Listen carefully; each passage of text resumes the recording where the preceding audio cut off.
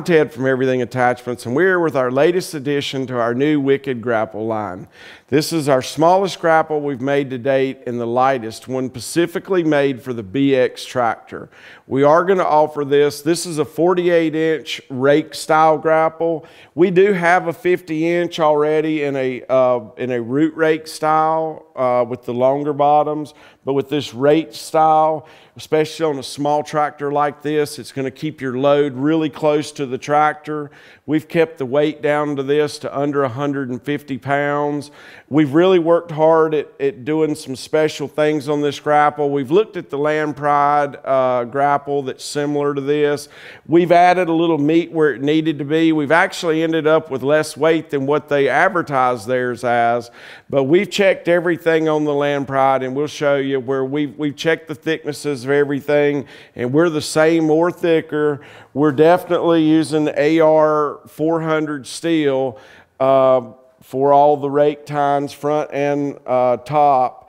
Uh, and we've put these nice grippers here because with the rake style, you've got so much lid there, but you do have the dual cylinders. These are the same heavy duty four inch stroke cylinders that we use on our compact grapple that go on tractors up to 50 horsepower.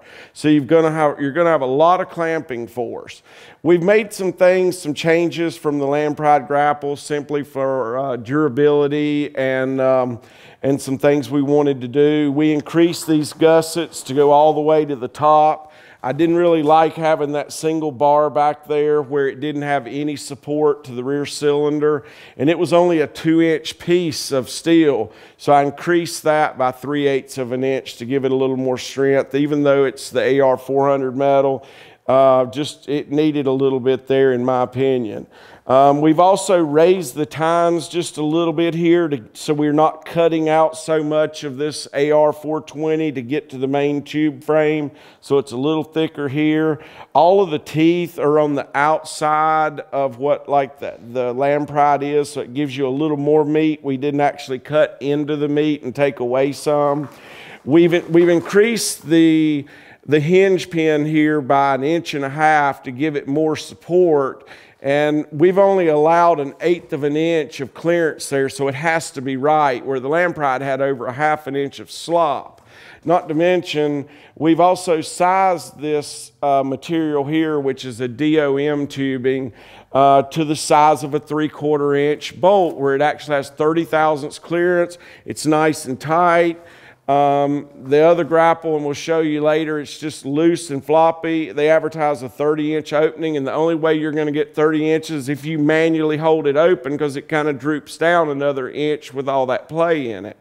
So we've added a grease fit in here. We've got it to where when it's fully open and you would be back dragging and raking and so forth, that this, this piece of AR 4, 400 is actually touching the back of the frame right when the cylinder bottoms out. So when you're raking, it's dually supported and you're not going to be bending anything when you're pulling backwards on this.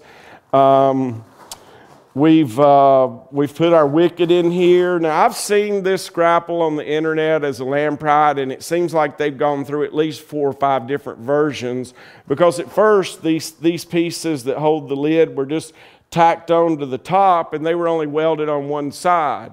At Everything Attachments, we double weld everything. We don't tack weld, we don't stitch weld.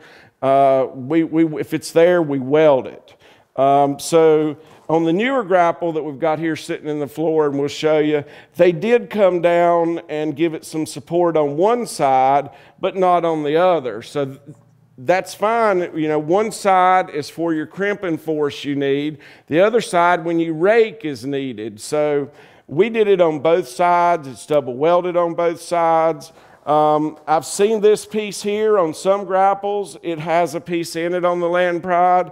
On some, it doesn't. Um, the last one we got, this the latest version that I know of, it doesn't have this piece in here at all.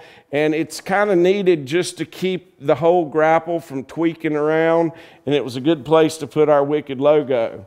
And that's still made out of the AR 400 steel there. When you take this, this off, because of the way it's designed, it's a fairly short attachment to start with. This is sloped up. So to take it on and off with pins, now, if there is a quick attach we offer for this. It adds about 40 pounds to the tractor, uh, but it's a really nice feature. And once we have our 54 inch grapple and our universal hitch, you would be able to use it with the quick attach, which is nice over these pins. But to be able to take this on and off and to have to work with these pins, we've got the nice stand similar to Land Pride has, where you can simply drop this down lock this in place and they're on both sides. That way you can put this down safely and get your pins out without having to fight it falling on you the whole time. Another thing we've done, Land Pride uses a bushing between this stand and it's only held from one side which you either crush this into the bushing and make it so tight that it's not really secure. I didn't like that, so we welded another tab on the other side to keep it fully supported from both sides instead of just putting a bushing in it and a bolt and held from one side. So this is a nice feature, makes it easy to uh, put on and off your tractor so when you're having to do your pins, it just makes it easier. The pins on this, because this is a three cylinder design, the, the pins that go in your original bucket are shorter. They don't have near as much boss. This you're going to really use hard, uh, you know, when you're when you're using this type of stuff and want to rake through the ground. So we custom make the pins. They're longer. They go all the way to the end of the uh, bushings there that are welded on. That the center cylinder, it's a lot bigger diameter, and it is a very close to the uh, bottom pins, which means it takes a lot of abuse just for one cylinder. That's why it's so big in diameter versus two little ones on the side, which most bigger tractors have. So it's an inch and three sixteenths pin that goes through that. We custom make that. There's a lot of push there. That's why I was not wanting to take out this plate here. I know that pin and this tube and everything are going to take a lot of abuse, and this plate's going to make it twice as strong where none of this moves around in here. Um, so we, have put as much as, we, also on the plumbing. Now, this is the third time I've plumbed this thing, and this is the second grapple I built to get the things I wanted right and get the geometry right. But we're over 30 inches of opening, and as you can see, you can't push it up anymore because our grapple simply fits right and it's tight.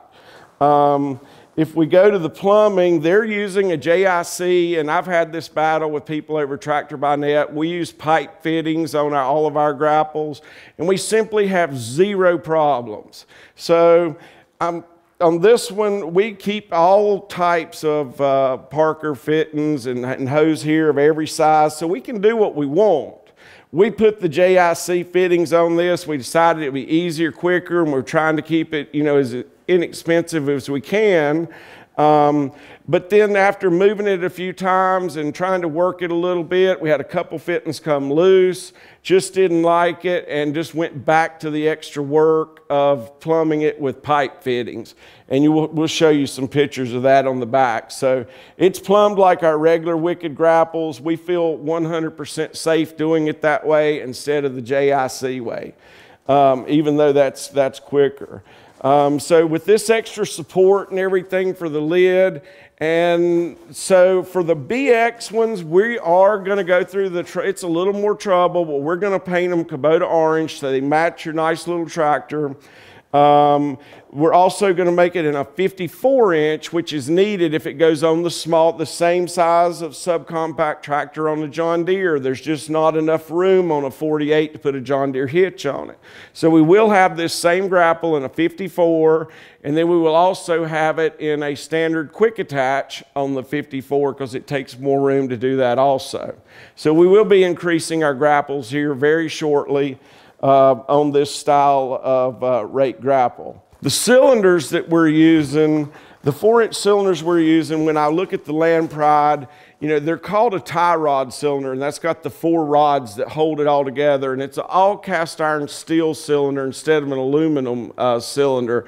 And I just like everything about that better. The tie rods on this and the heavy dutiness of our cylinders are like a third bigger tie rods and just a much heavier cylinder. It's what we use on our bigger grapples. So I'm sure we're not going to have any problem there, and it's going to give you your maximum crimping force. And with that extra steel that we've added into it, and we've still ended up with less weight than what's in the Land Pride. And I think that's pretty easy to figure that they just don't have their weight exactly right. Uh, maybe it's a, a, shipping weight or something like that. A lot of companies try to make their attachments to, uh, they want them to be heavier because it sounds like that you're getting more for your money or it's heavier duty.